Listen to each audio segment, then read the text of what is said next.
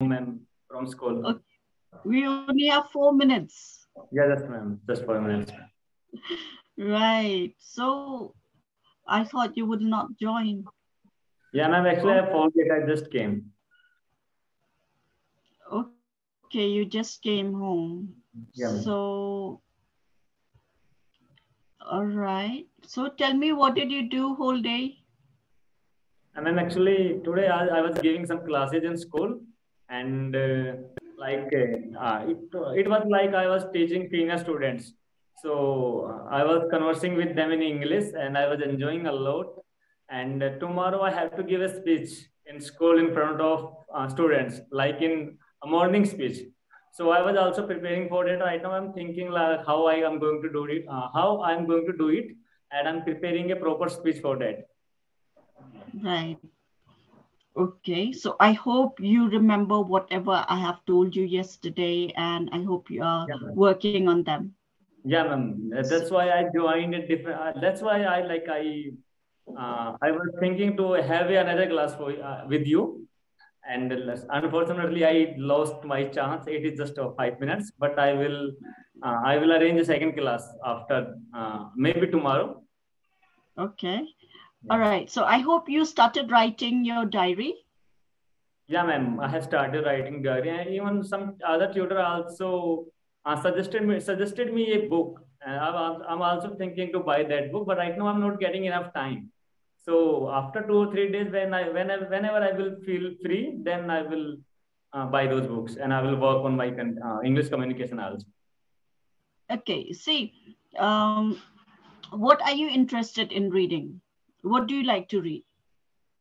And actually nowadays, uh, uh, I like to read about like so many stories about, like I told you earlier, I like so much spirituality. So I have read them those books in Hindi, and I think this is a very popular topic nowadays. So I also want to study those topics in English because that is something that is necessary if you want to speak on any topic.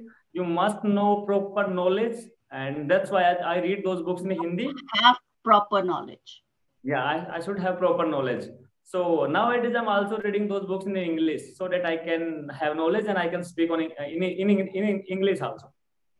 You can do one thing. You can download the app, you know, Pocket FM. You will find different types of audio books there.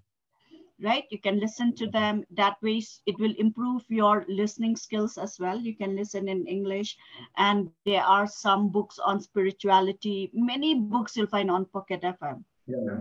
So you can download that app in your mobile, and you can start listening to them. Uh, English novels think- as well. Yeah, ma'am, I think my listening ability is good because I have given a lot of time uh, while watching uh, movies, etc. But when it comes to speaking, actually, I just started. Uh, just four months ago, I started English speaking. So it is a little bit difficult for me, but yeah, I'm doing it. And uh, right nowadays, I'm, I'm trying to speak as much as possible. Yeah, you're doing a great job because see, I can see your confidence in you, right? Yeah. That is very important. And like I said, try to build a relationship with the language, Yeah. right? Yeah. Build a strong relationship with the language. If you have passion for the language, you will be able to learn faster and you would have that love, that zeal to learn the language, isn't it? Yeah, ma'am. Ma'am, is it uh, this sentence correct grammatically? Because somebody told me this is wrong. Like uh, so that like, I can learn faster. Is it okay? not faster i so that i can learn fast i can learn quickly I can Okay. learn quickly. fast faster it's not wrong that is a comparative degree of fast right Yeah. yeah. S- but we say i can learn fast I can learn fast. Okay. I can learn quickly. Yes. This is also okay. yes that's fine i can learn fast i can learn i can be a quick learner Okay. right so you may say i'm a quick learner I'm a quick learner. Yeah. Right. So try to learn the comparative degree also. And when you're speaking in English, try to use a lot of adjective words. That will take your English level to an idiomatic level. Try to use idioms also instead of uh, using a very long sentence. If you use phrases and idioms, you know, Yeah, you can complete your sentence in just three, four words, Okay. right? Yeah. Yes, but try to learn to improve your vocabulary. Okay. Yeah. Actually, ma'am, I have learned a lot of vocabulary, but I don't know how to use it. I have completed like uh, three years ago. I, I have done uh, CGL coaching, and that time I, lear- I learned more than three thousand vocabs. That's how I got interested in in English, and then I got a job like in a call center also. But uh, I do, it's really difficult for me to use uh, those vocabs via in in conversation. See, whenever you learn a new word, whether Yeah. you're conversing in English or you're conversing in your native language, try to Yeah. use that word in Yeah. your sentence. But yes, you cannot insert any word anywhere, provided it is meaningful, right? Now, like I said, just learning the meaning of a word is not enough, Yeah. isn't it? Yeah. You need to know the synonym, antonym, and also the part of speech of that word. Yeah. Right? Try to write a sentence differently using um, the same word. Say, for example, pick up the word uh, place. Okay, for example, place.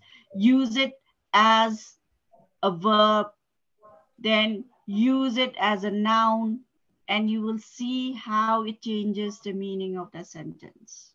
Yeah. right? Like like i already told you yesterday also that in english we only use 5% of functional grammar. Yeah. isn't it? And try to maintain a medium rate of speed. Do not be too fast. Do not be too slow. Right? Okay. and maintain your fluency without fighting for words without uh, using fillers without keeping a dead air without using too much or giving too much long pauses Right. ma'am. say for example you need to say something to your students right Yeah. you're giving a lecture or something and you're fighting for words. You're using a lot of fillers. Um, uh, and then there was a long pause or a dead air in between.